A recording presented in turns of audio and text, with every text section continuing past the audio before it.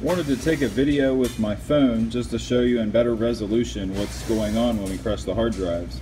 I know that the camera that's hooked up to the laptop is uh, not the best resolution, so figured I'd make one with my phone just to show you a little bit better uh, close-up, high definition, uh, what it looks like when we're crushing the drives.